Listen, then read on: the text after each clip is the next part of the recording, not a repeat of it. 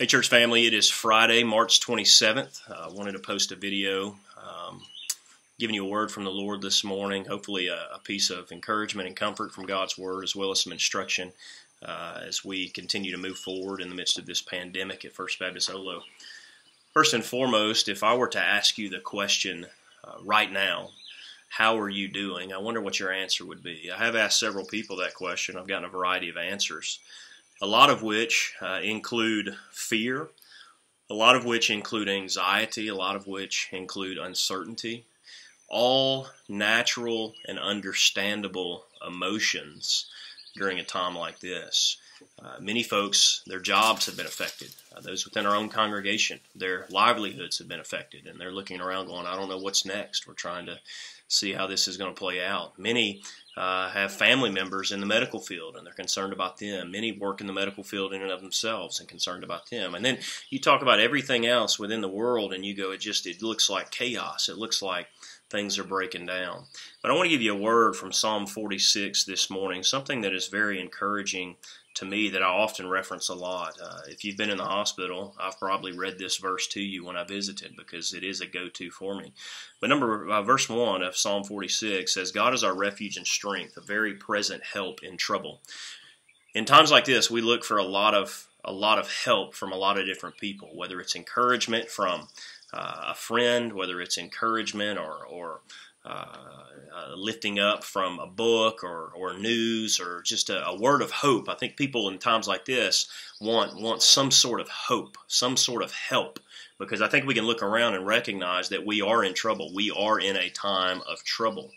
Uh, it is it is pandemonium uh, because of uncertainty and sickness and this virus that's going around. We are in a time of trouble. And so, what I want to encourage you to do is not to look to the things of this world. Don't look to the government for help in your time of trouble. Don't look to a bailout bill uh, to help you in a time of trouble. Those things are good and helpful, sure. But the only place in which we as Christians, or anybody for that matter, will find true help and refuge is in God. Because God is our refuge as His people. He is our strength. Our strength fails us during these times. But He is our refuge and He is our strength. Not only that, He is very present, as the Word says, in times of trouble. He's not far off watching how you will respond to this pandemic. He's not far off going, I hope these people make it through this. He is very present with his people in the time of trouble. And so you can be assured today, uh, church, that you're not alone. If you trust in the Lord, if you've turned from your sin and trust in the Lord, God is our very present help, our refuge and strength in the time of trouble. But even even so, it goes on. This passage goes on uh, to kind of uh, kind of elaborate on that and things God has done in history and what God will do. But it gets to verse ten, and in the midst of this pandemic, one thing that it's done for all of us is it has stopped us in our tracks. We live in a fast-paced culture. And so what it has done for most of us, there's no ball practice, there's no school, there's no extracurricular activities. It has halted us, brought us to a stop to where we have been forced to be still. And verse 10 is key, I think, for us in this moment. As God is our strength, as God is our refuge in the time uh, of trouble. Verse 10 says this Be still we're all forced to be still right now. Be still and know that I am God. Be still and know that I am God. I will be, God says, exalted among the nations. I will be exalted in the earth.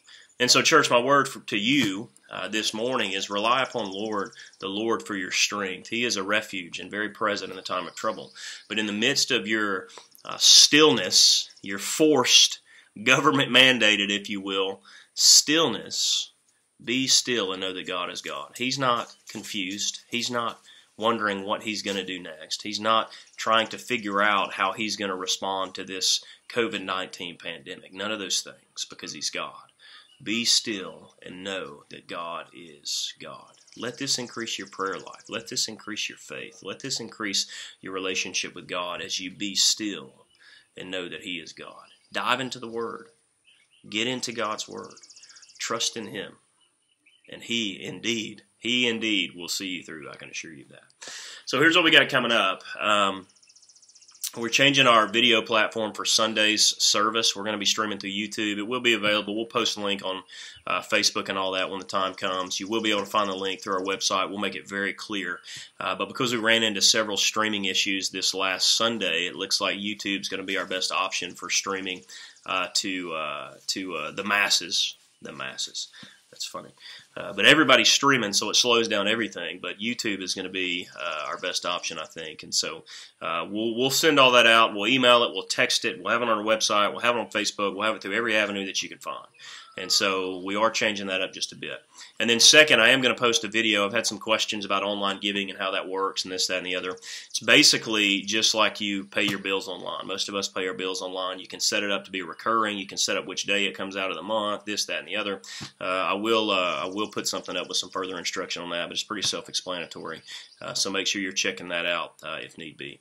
Love you guys. Be still and know that God is God. Look forward to worshiping via online again uh, this Sunday, and I look forward to the day, whenever that will be, in which we get to uh, gather once again as a people of God. Be blessed.